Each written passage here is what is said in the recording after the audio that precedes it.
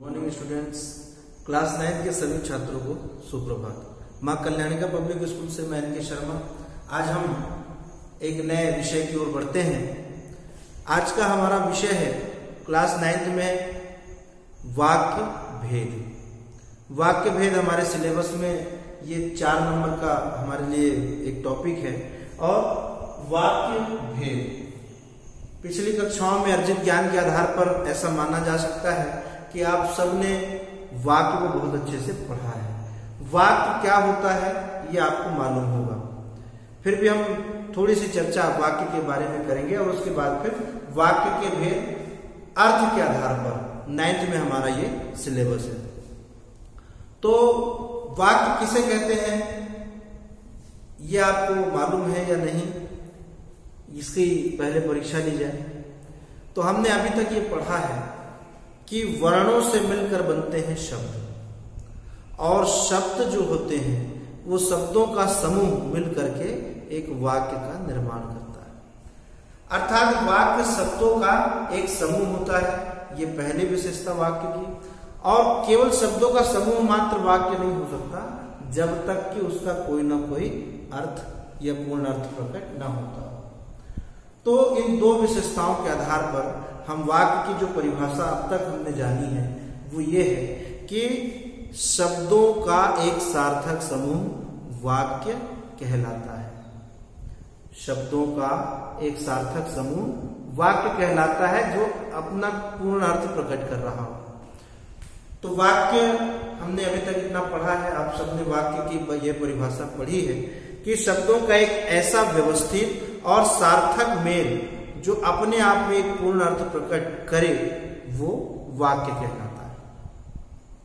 वाक्य की परिभाषा को जान लेने के बाद, जैसे कि हमने अभी पिछले कक्षाओं में पढ़ा है कि मेरा नाम राम है। अब इसमें एक, दो, तीन, चार चार शब्द हैं और ये शब्दों का समूह ही मिल करके एक वाक्य का निर्माण कर रहा है। तो वाक्य शब्दों के उस समूह को कहा जाता है जो अपना पूर्ण अर्थ प्रकट करता है। वाक्य को जान लेने के बाद हमारा जो टॉपिक है अगला, जो हम अगला चरण है इसके बारे में, कि आखिर वाक्य के भेद कितने होते हैं कौन कौन से होते हैं ये पढ़ना है हमें। और नाइन्थ और टेंथ हमारी हाई स्कूल के सिलेबस में वाक्य भेद को, कि जो दो अलग अलग आधार हैं इसे पढ़ने के, उस आधार पर वर्गीकृत किया गया है डिवाइड कर दिया गया है। वाक्य के भेद दो आधारों पर पढ़े जा, पढ़े जाते हैं और समझे जाते हैं। एक, इसका पहला चरण है अर्थ के आधार पर वाक्य के। कि आखिर किसी वाक्य का क्या अर्थ निकल रहा है? तो अर्थ की दृष्टि से वाक्य के कितने भेद होते हैं, ये हमारा नाइन्थ में सिलेबस है। और इसका एक और आधार है वाक्य भेद का, ये पहला और दूसरा आधार है इसका रचना की दृष्टि से। रचना के आधार। तो रचना के आधार पर भी वाक्यों के भेद हमें पढ़ने हैं, लेकिन वो हमारे अगली क्लास अर्थात दसवीं क्लास का विषय है। हमारा आज का टॉपिक है वाक्य भेद अर्थ के आधार कि आखिर अर्थ के आधार पर वाक्य के कितने भेद होते हैं कौन कौन से ये भेद हैं, ये हम आज की क्लास में पढ़ने वाले हैं। वाक्य भेद अर्थ के आधार पर। अब आपने ये समझ लिया होगा कि अर्थ और रचना, ये दो आधार क्यों तय किए गए? किसी भी विषय को भली प्रकार से समझने के लिए, अच्छे से समझने के लिए ये आवश्यक है कि उसका गहराई से अध्ययन किया जाए। और जब ये पाया गया कि बहुत से अर्थ हो जाएँगे तो इनके अलग अलग आधार बनाए जाने चाहिए, ताकि सुव्यवस्थित हम उसका अध्ययन कर सकें। इस दृष्टि से अर्थ और रचना। जब वाक्य का निर्माण किया जाता है, उसे हम रचना कहते हैं, वाक्य निर्माण की दृष्टि से। और जब अर्थ क्या प्रकट कर रहा है, वाक्य का जब निर्माण हो जाता है तो आखिर उसका अर्थ क्या निकल रहा है, वो कौन सा अर्थ प्रकट कर रहा है, ये बताना जो है, एक अलग आधार हो जाता है। इसलिए दो अलग अलग आधार तय किए गए, एक रचना के आधार पर और एक अर्थ के आधार पर। आज हम अर्थ के आधार पर वाक्य के कितने भेद होते हैं, ये जानेंगे। तो अर्थ के आधार पर वाक्य के कुल आठ भेद पाए जाते हैं। कुल आठ प्रकार जो है, अर्थ के आधार पर माने गए हैं वाक्य भेद। अभी तक हमने जो पढ़ा है, उसके आधार पर यह कहा जा सकता है कि हमने वाक्य की परिभाषा पढ़ी। वाक्य कैसे बनता है, ये पढ़ा। और वाक्य की परिभाषा को जानने के बाद अर्थ के आधार पर वाक्य भेद क्या है, ये हमने समझा कि अर्थ, जो अर्थ प्रकट हो रहा है, कोई भी वाक्य, आखिर उससे कौन सा अर्थ निकल कर आ रहा है? उसी आधार पर ये वर्गीकरण किए गए हैं कि अर्थ के आधार पर वाक्य के कुल आठ भेद हम पढ़ने जा रहे हैं। कौन कौन से ये आठ भेद हैं, इसे हम जानते हैं। आज की क्लास में तो अर्थ के आधार पर वाक्य के कितने भेद होते हैं, ये हम जानते हैं। आठ प्रकार अर्थ के आधार पर वाक्य के कुल आठ भेद होते हैं, जिनमें पहला है विधानार्थक। विधानार्थक, या इसे हम विधानवाचक वाक्य भी कहते हैं, जिसमें एक ही, एक पूरे क्रिया के होने का हमें पता चलता है। जिन वाक्यों से किसी बात के होने का पता चले, कोई विधान निश्चित होता हो उसे विधानवाचक कहते हैं, जैसे बच्चा टहल रहा है। पिताजी आराम कर रहे हैं। इन दोनों ही बातों में हम देखते हैं कि बच्चा टहल रहा है या पिताजी आराम कर रहे हैं। तो एक विधान, एक बात का जिसमें पूरा पूरा पता चलता है, उसे हम विधानार्थक, विधानवाचक या विधान सूचक विधानार्थक हमने इसलिए कहा, विधान अर्थ के आधार पर है। विधानवाचक या विधान सूचक शब्द, वाक्य भी इन्हें हम कह सकते हैं। दूसरा भेद होता है निषेधार्थक।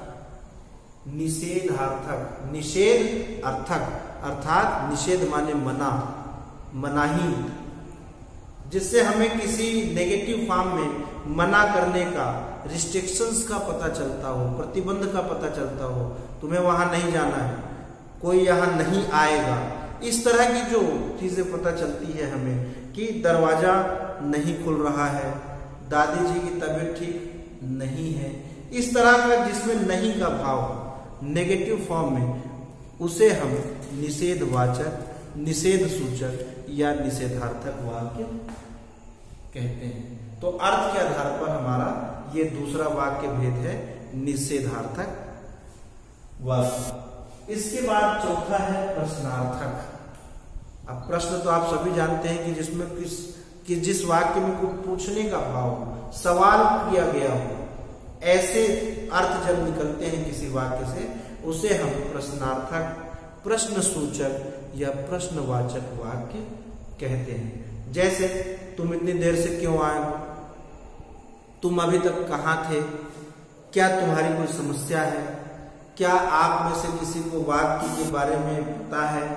तो जिस वाक्य से प्रश्न करने का पता चले, प्रश्न के होने का बोध होता हो, उसे हम प्रश्नार्थक या प्रश्नवाचक वाक्य कहते हैं।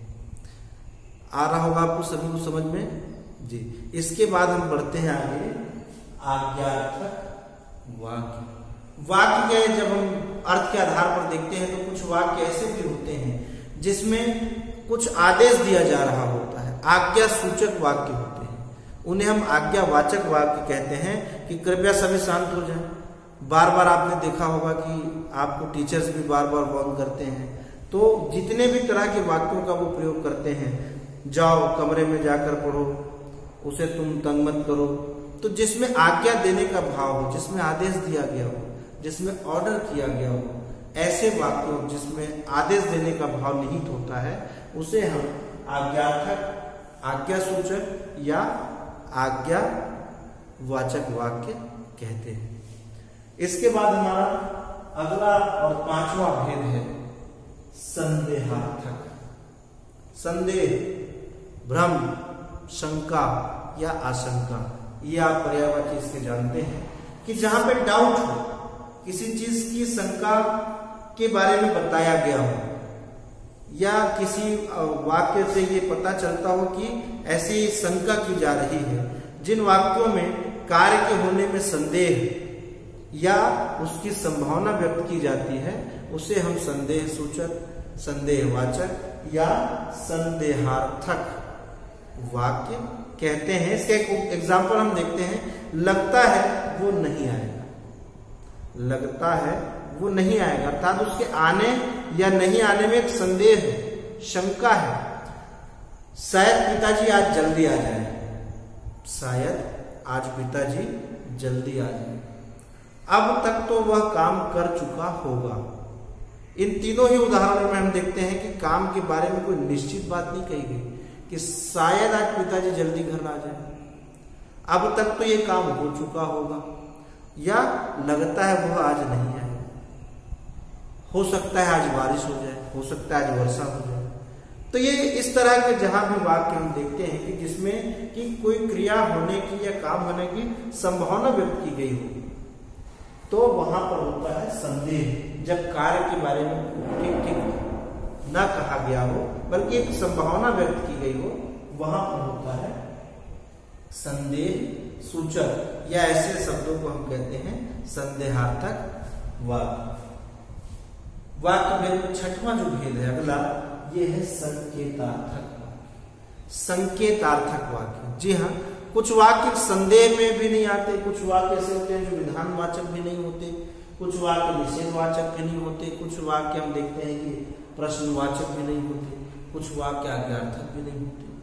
कुछ अलग तरह का भाव उससे समझ में आता है, जो होता है संकेत अर्थ अर्थात जिसमें संकेत किया गया हो इंडिकेशन किया गया हो, किसी चीज़ के बारे में संकेत किया गया हो, आधार बनाया गया हो, ऐसे वाक्यों को एक अलग तरह का नाम दिया गया, जिसे हम जानते हैं संकेतार्थक या संकेत सूचक शब्दों के नाम से। जिन वाक्यों में क्रिया का होना, इसकी परिभाषा जब हम लिखने जाते हैं, पढ़ने जाते हैं कि जिन वाक्यों में क्रिया का होना किसी शर्त पर आधारित होता कि अगर ऐसा हो जाए तब ये होगा। संकेत किया गया होता है। जब वो क्रिया दूसरे किसी चीज़ पर आधारित होती हो, कुछ एक शर्त के साथ, तब ऐसे वाक्यों को हम कहते हैं कि ये संकेत सूचक है। अर्थात संकेतार्थक वाक्य है।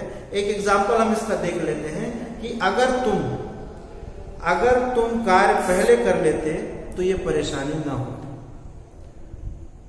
अगर तुमने ठीक से पढ़ा होता तो नाइन्थ में तुम्हारे अच्छे मार्क्स आते, या तुम नौवीं में तुम्हारा अच्छा परिणाम आता। अगर, ये जो एक संकेत है, ऐसे वाक्यों को हम संकेत सूचक वाक्य कहते हैं। यदि बारिश ज़्यादा होगी, एक और हम उदाहरण देखें, यदि बारिश ज़्यादा होगी तो सड़क पर पानी भर जाएगा। ये संकेत है कि यदि बारिश ज़्यादा हुई तो सड़क पर पानी भर जाएगा। यदि तुम एकाग्रता से काम करोगे तो तुम्हें सफलता अवश्य मिलेगी।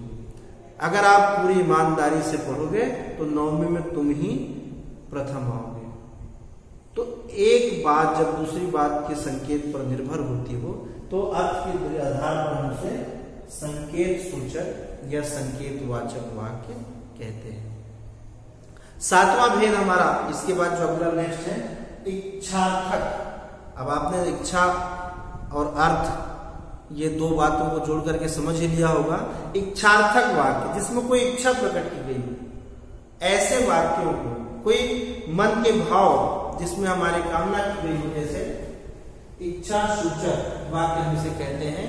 इच्छा सूचक इच्छावाचक या इच्छार्थक वाक्य। इसकी परिभाषा हम इस तरह से बता सकते हैं कि जिन वाक्यों में इच्छा करना या कामना का भाव प्रकट होता हो उन्हें हम एक इच्छार्थक वाक्य कहते हैं कि जैसे चलो चलो घूमने चलते हैं। काश इस प्रतियोगिता में जीत हासिल हो जाती। ईश्वर तुम्हें लंबी उम्र दे, तुम्हारा जीवन मंगलमय हो। इस तरह की जहाँ भी इच्छा प्रकट की जाती हो, ऐसे वाक्यों को हम इच्छा सूचक इच्छावाचक या इच्छार्थक वाक्य कहते हैं। अब अंतिम, आठवां जो भेद है, हमारे अर्थ के आधार पर वाक्य भेद में भी जानते हैं, विस्मयादि बोधक, या विस्मयार्थक वाक्य। विस्मय से बना हुआ यह शब्द है, बड़ा सरल सा, कि जिसमें विस्मय का भाव प्रकट होता हो जिन वाक्यों से। विस्मय का अर्थ है चौंक जाना, अचानक से जिन वाक्यों में हमें विस्मय हर्ष शोक, घृणा आदि का भाव प्रकट होता हो, जिससे क्या नाम अचंभित हो जाए। आश्चर्य के साथ हमें अच्छा ओ, हाय, वाह, जिसमें हम चौंक पड़े।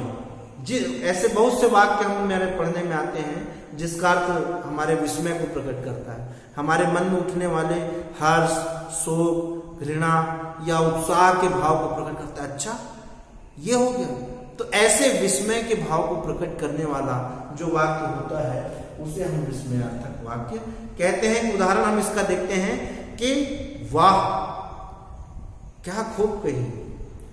वाह, भारत मैच जीत गया आहा, कितना सुंदर भोजन है। छी, कॉपी कितनी गंदे तुमने राइटिंग में लिखा है, कितना खराब राइटिंग है तुम्हारी, कितना खराब लेखन तुम करते हो। ओह तुम्हें बहुत चोट आई। वाह, उसने प्रथम स्थान प्राप्त किया। तो इस तरह से जितने भी हमारे मन के आश्चर्यचकित कर देने वाले भाव जिससे हमें प्रकट होते हों, उन वाक्यों को हम विस्मयादि बोधक विस्मयार्थक या विस्मयादि सूचक वाक्य कहते हैं। तो प्यारे बच्चों, इस प्रकार आज हमने कक्षा नौवीं में हमारा जो एक महत्वपूर्ण सिलेबस था वाक्य, भेद, अर्थ के आधार पर इसके बारे में जाना। आशा है कि आप सबने बहुत अच्छे से इन आठों भेदों को पढ़ा होगा, समझा होगा।